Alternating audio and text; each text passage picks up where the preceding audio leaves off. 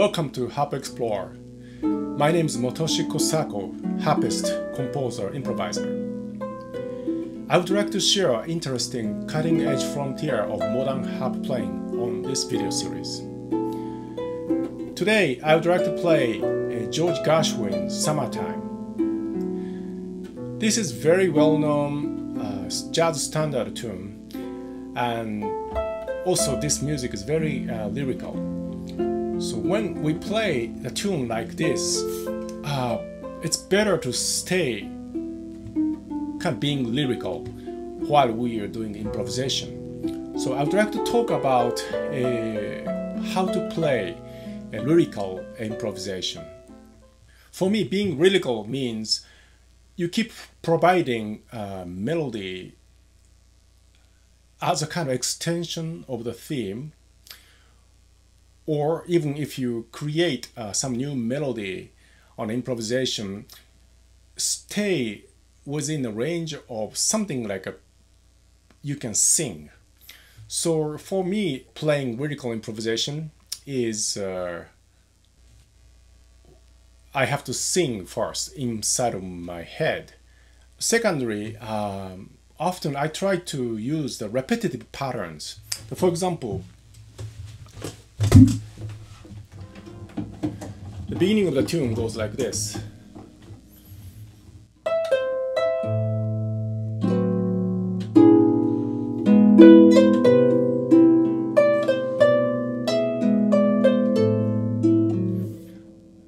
So, and then try to improvise on this chord progression uh, I try to kind of make some patterns and then you I, use repetitively.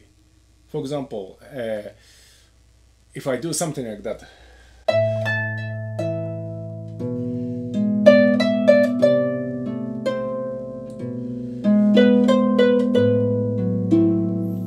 So da I try to uh, use this motif a uh, few times until the listener start kind of associating uh, with these uh, repetitive patterns.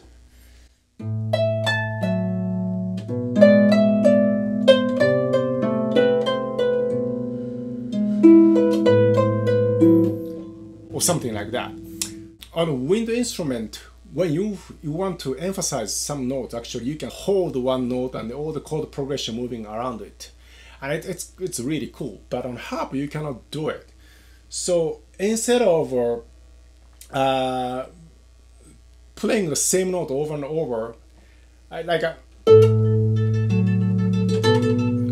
this is one way of doing that. But actually, as you know, it's hard to play the same note over and over on a harp. So often I replace with the uh, trill.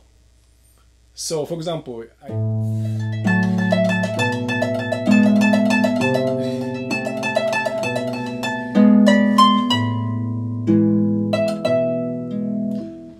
and you can get kind of similar effect uh, to the holding note on a wind instrument. So another tip is making phrase with a, the notes of different values. So for example, if you play always the eighth notes,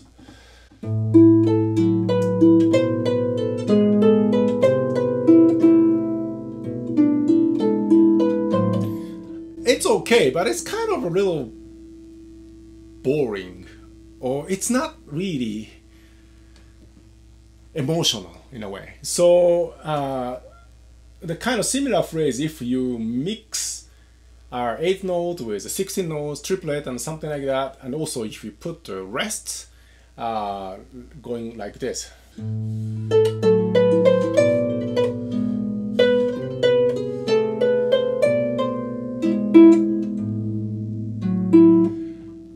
Also not just our different values, also uh, change the dynamics. Um, so some of the notes comes out more than other notes, and the other notes actually almost barely hearing or something like that. And all combination of these uh, different values and dynamics uh, makes your phrasing really uh, lyrical. Also, uh, when we are improvising, sometimes we just want to play scale from one note to another note. So like uh,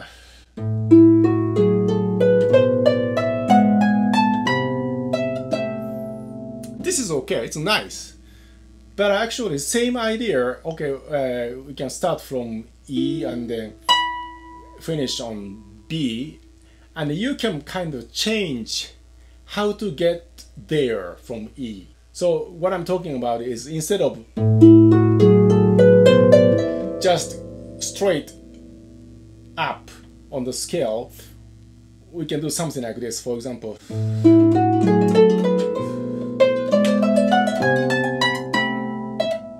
or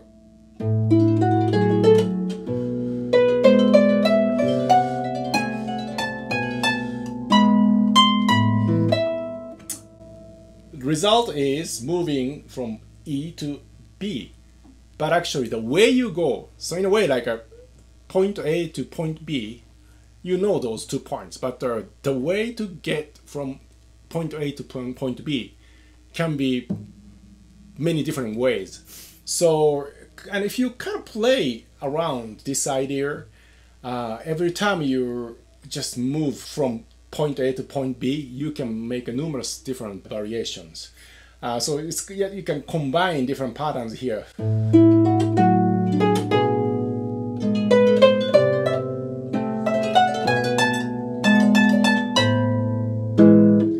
So the idea is just playing from E to B, but just it sounds like doing something really special because I changed the way of moving from point A to point B.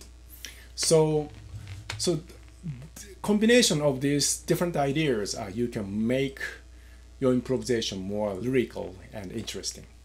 My pronunciation of lyrical is not really good because L and R close to each other is really hard for us Japanese to pronounce. So lyrical improvisation.